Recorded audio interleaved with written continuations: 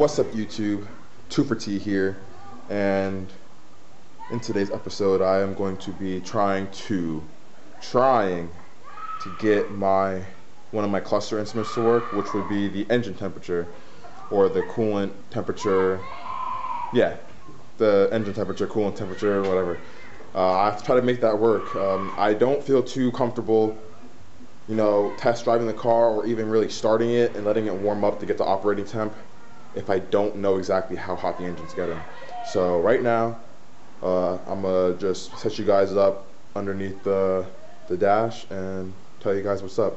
So as you can see, there's a whole bunch of spliced and cut wires from the previous owner that I had purchased this S12 from. And I did some research and found out that my coolant temp wire because this car had a VG30 in it, not a CA. I thought it had a CA20E in it. Looked at the firewall and it said VG30E. So I looked up some wiring schematics and I found out that the coolant temp wire for the for the cluster, not to the ECU, is purple with the white stripe. And uh, I found that right here. Uh, if I move the camera closer, uh, the shadow gets in the way, but right here what I'm, I'm tugging on, if you can see that, if you can see right here that I have this this uh, green wire hooked up to, this was actually already cut, the purple wire. Uh, I really don't know if that's even the wire, but uh, if since it was already cut from the previous owner, I'm assuming that he already tried to do what I'm about to do right now. So I just hooked this up real quick. I just twisted the wires together just to see. I'm going to extend this wire all the way to my temp sensor for the cluster on the on the engine. And then I'm going to warm the engine up and see if the gauge moves.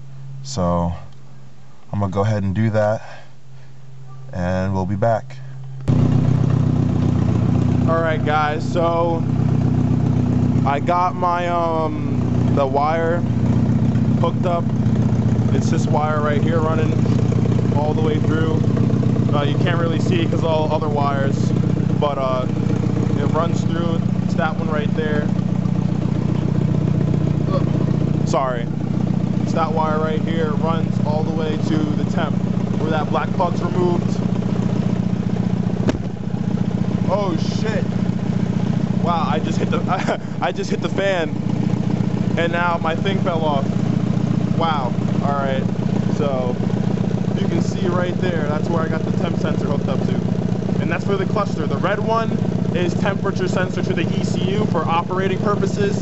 And then that's the, the, the wire right there that you see that I have hooked up is for the temperature sensor to the cluster so I get a reading. So I'm gonna let this warm up for a little bit and we'll see if she shows me some good news on the dash some good fucking news. Sorry about my cursing, but God, Jesus fucking Christmas. That shit is working. Look at that. It was at the sea, engine's warming up right now, and I'm getting a freaking reading. So now I got engine temp in my cluster. Uh, uh, like that's awesome. That that is awesome. That's just one more step to the goal. Uh, my uh, voltage gauge works, speedo doesn't work, tach doesn't work, uh, but that's all gonna come in time. Uh, I'll figure out all those wires and do that in, in, later videos for when I actually want the car to be a car and not just a project, you know, if you know what I'm talking about.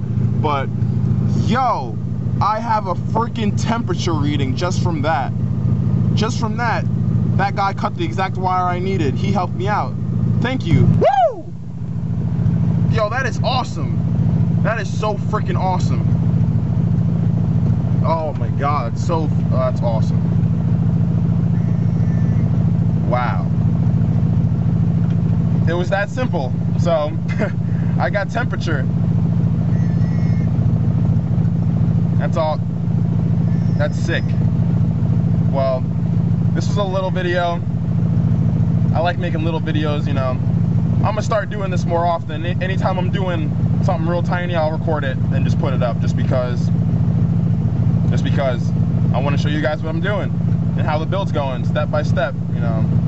Now that I got the bulk of all the stuff, you know, the engine and everything and the suspension done, you know, now I can show you guys, you know, what I what else I have to do. So like and subscribe if you like watching me do car things or if you like me as a person and have a nice day.